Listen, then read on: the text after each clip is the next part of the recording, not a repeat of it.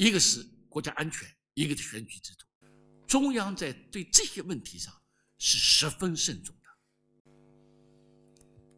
经过了深入的研究、全面的分析，过程中间，包括国安法，包括这一次的完善香港选举制度的这个过程中间，深入论证和研究过程中间，听取了各方面的意见，包括香港。特区政府主要官员的意见，